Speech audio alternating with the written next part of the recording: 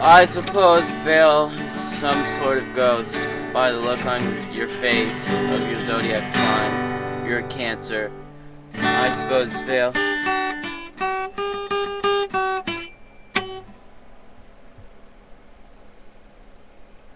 Didn't have that bug bite yesterday.